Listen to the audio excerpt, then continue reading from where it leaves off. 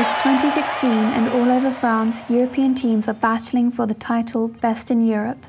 Exactly 100 years ago, there was a different kind of war, and winning came at a different kind of price.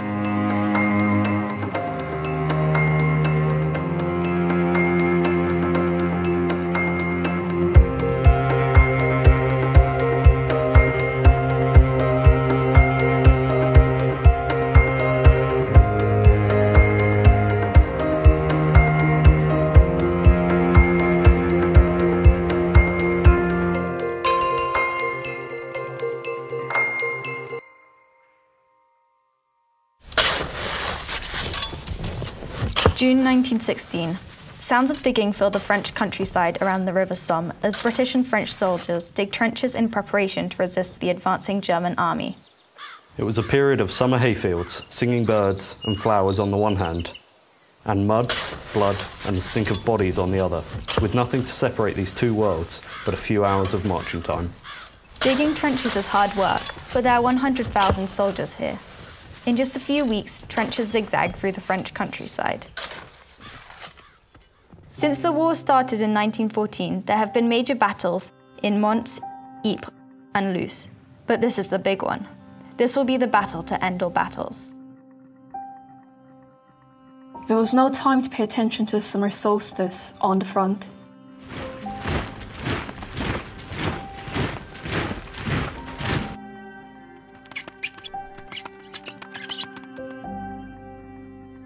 Conditions were unthinkable, horrid, foul.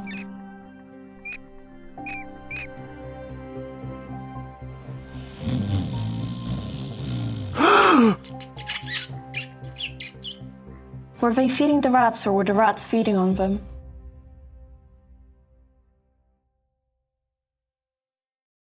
Meanwhile, on the home front, the threat was very real.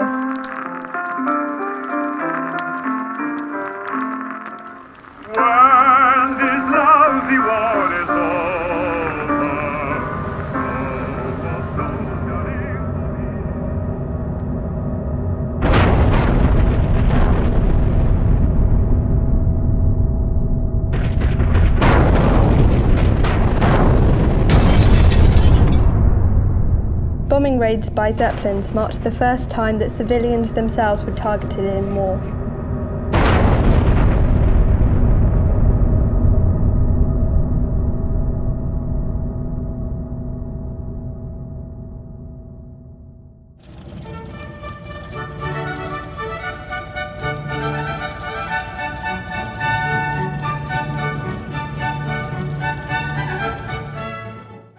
First World War brought immense social changes, particularly to working class women who enjoyed new freedoms working in munitions factories.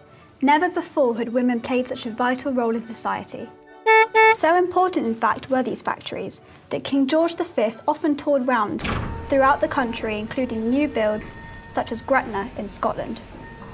The King observed rows and rows of women efficiently working together creating shells and other munitions ready to be sent to the front. Their working conditions were safe, and women even had the opportunity to follow fashions such as new silk blouses. Assembly lines demonstrated to the king the munitions factories were well organised and overall the women enjoyed their work. The reality, however, could not have been more different. Through constant contact with cordite, the women soon came to be known as canaries due to the yellowing of their skin. In addition to working closely with toxic radioactive materials, the constant handling of gun cotton, also known as devil's porridge, was a highly flammable material found in bombs, which meant that explosions were frequent and casualties high. One such casualty was Ada Curtis. Found facing downwards, her scalp had been torn off of her skull, which itself had been completely destroyed. Her brain suffered further destruction, with parts of it being found three feet away from the body. The destruction of the spinal cord meant that death was instantaneous. However, we must be careful not to overlook the significance and impact of women being drafted into factories. They experienced new liberties and freedoms despite their pay being less than that of men. They gained new skills, with some factories even offering free training and experience a stark contrast to their former roles as homemakers. One could also argue that the new skills and experience played a part in the passing of the 1918 Representation of the People Act, whereby women were granted the vote.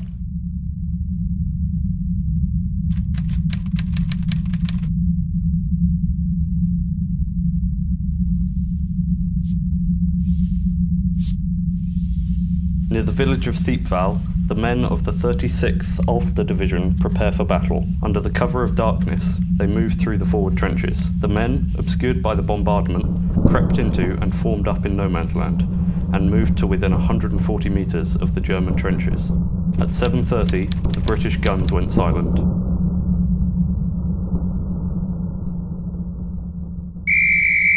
Out of the mud, the Ulstermen rise, and they charge at the enemy.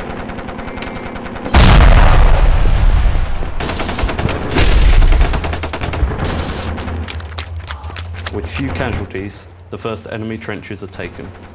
Fighting continued throughout the day.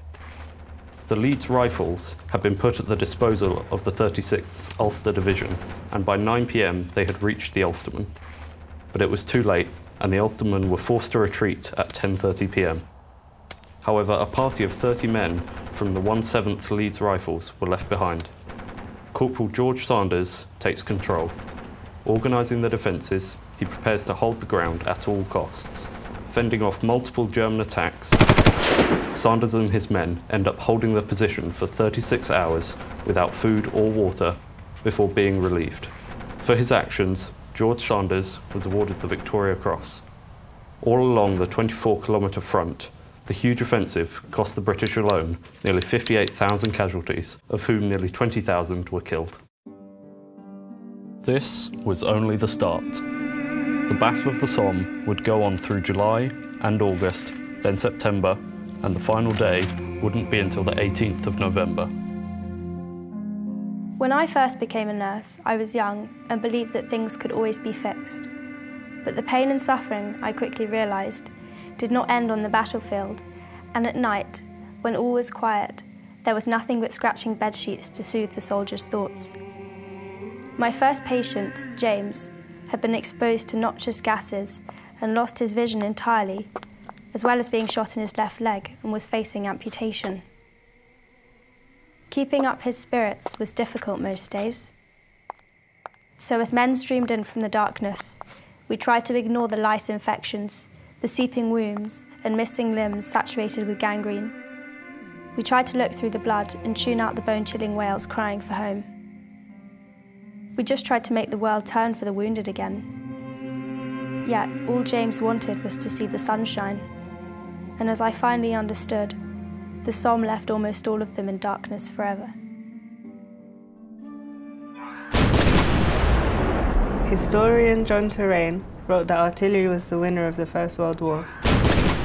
It caused the greatest loss of life and most dreadful wounds and deepest fear.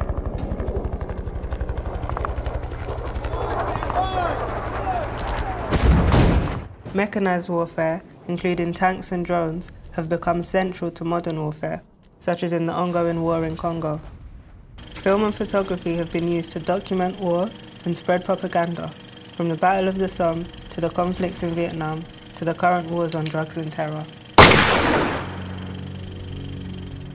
In the case of the Somme, soldiers came from across the Commonwealth countries.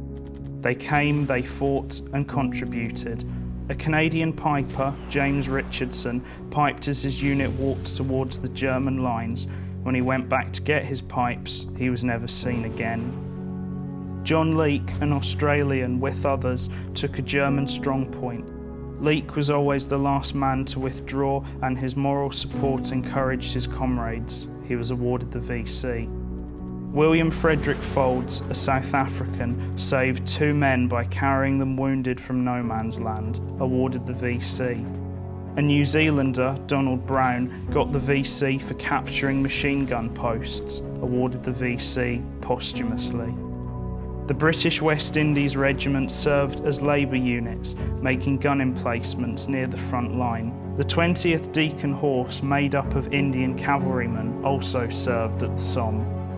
Most of them didn't return home. This is what made it a world war. People from all over the world were thinking, worrying, and waiting for news about their loved ones. Britain wasn't the only country with a home front.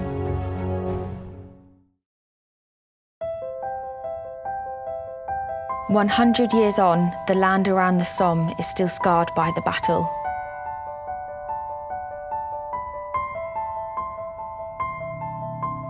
Many, many soldiers suffered what we now call post-traumatic stress disorder, but was then called shell shock. And ghosts of the conflict have haunted our time since. Missing brothers, fathers, sons or lovers.